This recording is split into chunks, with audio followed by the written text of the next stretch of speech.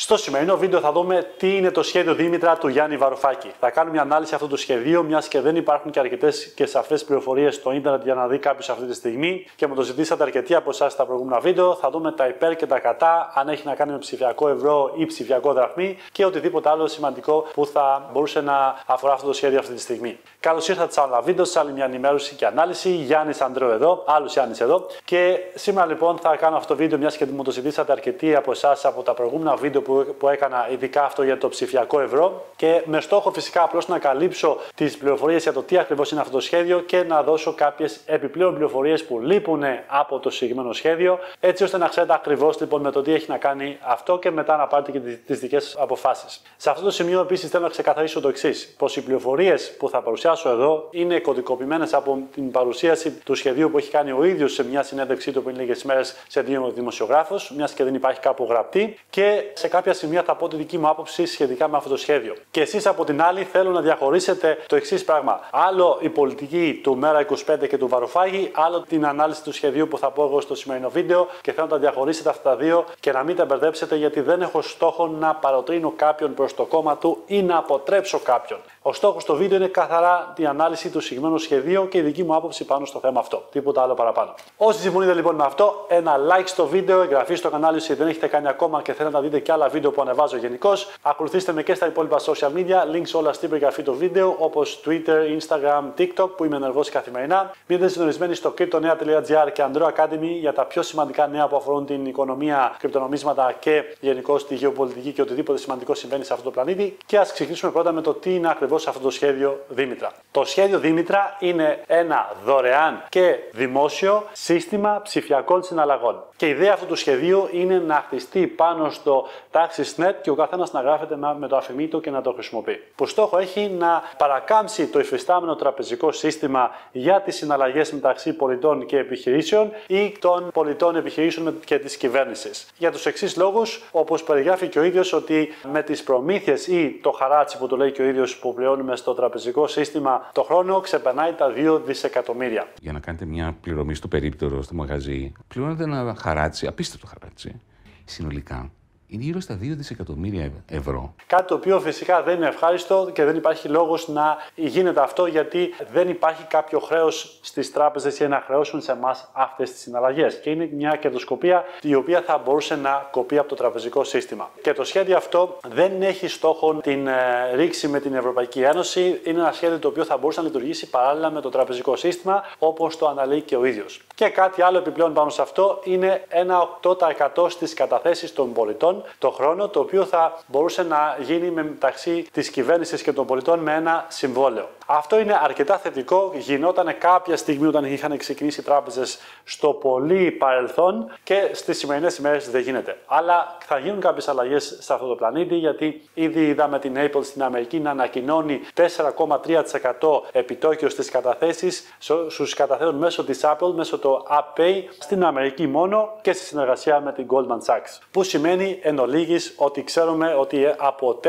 έως και 8% θα μπορούσε να υφίσταται στις καταθέσεις των πολιτών που αυτή τη στιγμή έχουν 0, τίποτα. Όλα καλά και ωραία. Ένα τέτοιο σχέδιο λοιπόν το οποίο έχει στόχο να μειώσει κάποιες δαπάνες που είναι αχρίαστες αυτή τη στιγμή θεωρώ ότι είναι αρκετά θετικό. Έτσι. Και αυτό το σχέδιο θα μπορούσε να το εφαρμόσει το κάθε κόμμα και κάθε κυβέρνηση που θέλει να βελτιώσει το οικονομικό σύστημα και να βοηθήσει τους πολίτες, ειδικά σε τέτοιους περίοδους κρίσης που ε, διανύει η χώρα αυτή τη στιγμή και γενικώς που θα έχουμε και από εδώ και πέρα. Που δεν υπάρχει και λόγος να, να χρεώσει το τραπεζικό σύστημα τόσο δισεκατό. Τώρα, ποια είναι τα κατά αυτού του σχεδίου; Ο κ. Βαρουφάκης στην ανάλυσή του φέρνει το παράδειγμα του ψηφιακού νόμισμα της Κεντρικής Τράπεζας της Κίνας, ότι εκεί γίνεται ήδη και λειτουργεί κτλ.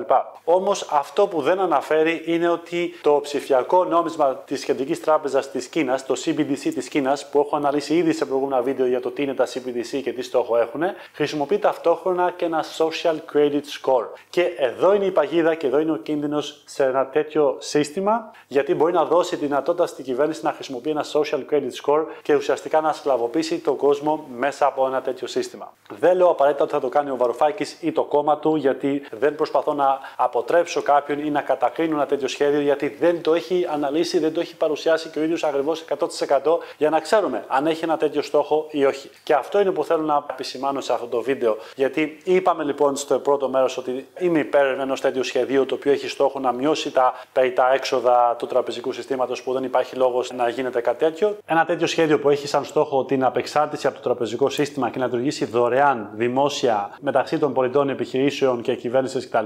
Ναι, θεωρώ ότι είναι γενικώς μια καλή ιδέα. Και πάνω σε αυτό το σχέδιο θα ενσωματωθεί το επίσημο νόμισμα της χώρας, όπου αυτή τη στιγμή είναι το ψηφιακό ευρώ, αλλά ο ίδιος λέει ότι αυτό θα μπορούσε να είναι και ένα backup για κάποιο πιθανό ακραίο σενάριο όπως της κατάρρευσης της Ευρωπαϊκής Ένωσης ή στην περίπτωση που το ευρώ αποτύχει και χρειαστεί η χώρα να πάει πίσω στο δραχμή, να μπορεί αυτό να λειτουργήσει άμεσα και ψηφιακά και να το χρησιμοποιεί ο κόσμος. Και δεν έχει σαν στόχο να φέρει την χώρα σε ρήξη με την Ευρωπαϊκή Ένωση. Και σύμφωνα με, αυτό που είδα έτσι προς τον Αλή, όντως μου κάνει και εμένα ότι αυτό δεν έχει στόχο να φέρει τη χώρα σε ρήξη με την Ευρωπαϊκή Ένωση. Όμως, σε ποιους θα φέρει σε ρήξη τη χώρα, με το τραπεζικό σύστημα, όπου δεν μπορείς να τα βάλεις, δεν μπορούσε ούτε η Αμερική ούτε κανένας, γιατί είναι το deep state. Το οποίο έχω αναλύσει ήδη σε άλλο βίντεο που μπορεί να δείτε ανα πάσα στιγμή από την link που θα εμφανιστεί κάποια στιγμή εδώ πάνω ή στην περιγραφή του βίντεο. Και μιλάμε ουσιαστικά για τις μεγάλες οικογένειες Rothschild και Rockefeller που ελέγχουν το τραπεζικό σύστημα. Και αν πας να απειλήσεις τώρα ότι θα βγεις από αυτό και θα χρησιμοποιήσεις ε, άλλο σύστημα και θα παρακάμψεις το τραπεζικό σύστημα, όσοι πολιτικοί το έχουν προσπαθήσει, έχουμε δει λοιπόν και το αποτέλεσμα. Κάτι το οποίο φαίνεται αρκετά δύσκολο και το πιο δύσκολο σε αυτό είναι ότι δεν μπορείς να βάλεις τους πολιτικούς στην κυβέρνηση να συμφωνήσει μεταξύ του σε κάτι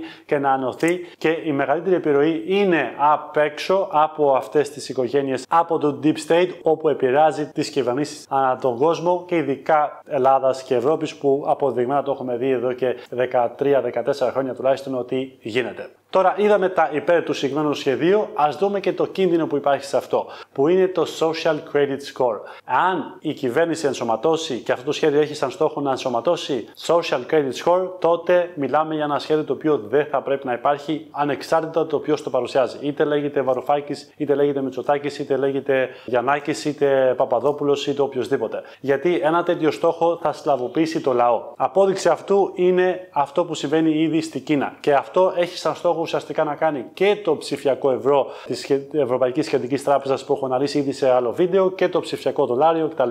Και όσους δεν καταλαβαίνουν ακόμα το τι είναι αυτό το social credit score, εν ολίγης, γιατί μπορείτε να το ψάξετε ανά πάσα στιγμή μόνοι σας στο YouTube και να δείτε China social credit score, να δείτε ακριβώς πώς δουλεύει. Είναι ένα σύστημα το οποίο θα δουλεύει μόνο ηλεκτρονικά και θα υπάρχει ένας μαζικός έλεγχος μέσα από το κινητό, μέσα από τα social media και οπουδήποτε συνδέεται κάποιος ψηφιακά. Ακόμα και από τα αυτοκίνητά μας στο μέλλον που θα είναι όλα ηλεκτρονικά, που λίγο πολύ έχουν ήδη ξεκινήσει και έχουν μπει στη ζωή μας. Και επειδή λοιπόν υπάρχουν διάφορα σχέδια όπως τον έλεγχο της πληροφορία στα social media, σκεφτείτε λοιπόν ότι αν κάποιος δεν συμφωνεί με την άποψη ενός πολιτικού στο ίντερνετ και εκφράσει μια άλλη άποψη, στο μέλλον θα έχει πρόβλημα. Και με ένα τέτοιο σύστημα, γιατί θα του βάλει και ένα social credit score, ότι εσύ έχεις εκφράσει απόψεις που δεν είναι σωστές, που είναι παραπληροφόρηση. Και έχουμε δει, by the way, ειδικά τα τελευταία τρία χρόνια, ότι η μεγαλύτερη παραπληροφόρηση σε διάφορα θέματα της ζωής έχει γίνει από τα μέσα μαζικής ενημέρωσης και από τους ίδιους τους πολιτικούς και τις κυβερνήσεις σε διάφορα τέτοια θέματα.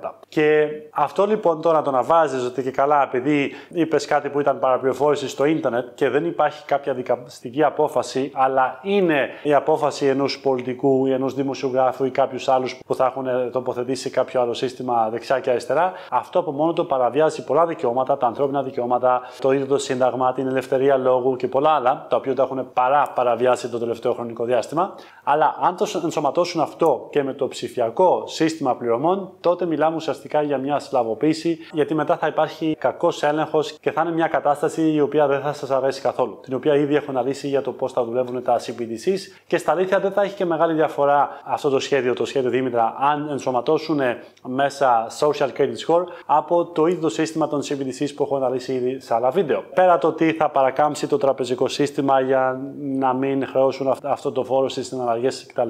Αλλά έτσι όπω είναι αυτή τη στιγμή ο κόσμος θα προτιμούσε να πληρώσει και κάποιους λίγους ελάχιστους φόρους από το να παραδώσει τον ολοκληρωτικό έλεγχο των χρημάτων στο στην κυβέρνηση που να αποφασίζει με το έτσι θέλω με ένα κλικ να του ε, κλείσει το τραπεζικό λογαριασμό ή να του πάρει τα χρήματα κτλ.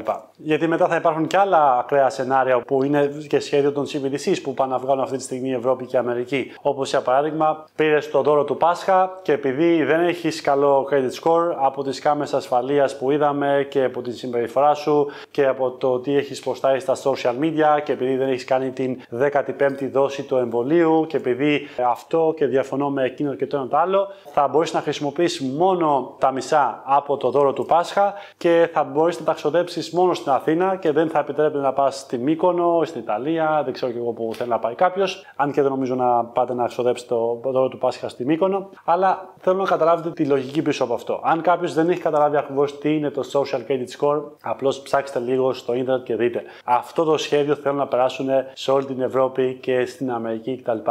Και επειδή λοιπόν το συγκεκριμένο σχέδιο δεν έχει παρουσιαστεί πλήρως έτσι ώστε να ξέρουμε τι ακριβώς είναι, εδώ λοιπόν είναι ο κίνδυνος σε αυτό, είτε σε οποιοδήποτε άλλο σχέδιο στο μέλλον. Έτσι. Αλλά από την άλλη, δεν θεωρώ ότι θα ήταν και σωστό να το καταδικάσουμε από τη στιγμή που δεν έχουμε δει και ολοκληρωμένα και την ιδέα της ενσωμάτωσης του social credit score. Θεωρώ ότι θα πρέπει να δούμε τουλάχιστον το σχέδιο προτού κρίνουμε σωστά γι' αυτό και ότι και ο ίδιος θα πρέπει να καταγράψει το σχέδιο αυτό και να είναι γνωστό στον κόσμο και να μην αφήσει το περιθώριο να ενσωματωθεί social credit score πάνω σε αυτό. Κάτι το οποίο βλέπω πολύ δύσκολο γιατί έχουμε δει τις κυβερνήσεις να το κάνουν ήδη με το τραπεζικό σύστημα, το είδαμε τα πρόστιμα, το είδαμε πάρα πολλά άλλα πράγματα. Αυτά λοιπόν για το σημερινό βίντεο. Ελπίζω να ήταν βοηθητικό για όσους θέλουν να μάθουν για το τι είναι αυτό το σχέδιο. Όποιος θέλει να δει κάτι παραπάνω και από τον ίδιο, μπορεί να δει στο ίντερνετ απλώς ψάχνοντας ή από τον link που θα βάλω στην περιγραφή του βίντεο για την, με την τελευταία συνέντευξη που έδωσε πριν λίγες ημέρες. Και ένα like στο βίντεο, εγγραφή στο κανάλι όσοι θέλετε να δείτε και άλλα βίντεο που θα κάνω στο μέλλον με διάφορα ενδιαφέροντα θέματα που έχουν να κάνουν με οικονομία, γεωπολιτική και γενικώ οτιδήποτε σημαντικό συμβαίνει σε αυτό το πλανήτη. Που μπορεί να δείτε ήδη πάνω από